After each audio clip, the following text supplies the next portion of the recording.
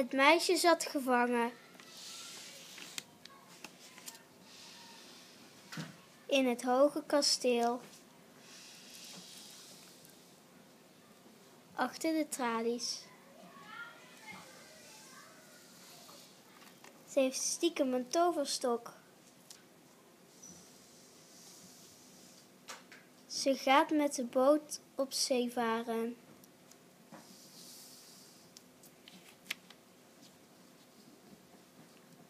Kijk uit, een grote golf.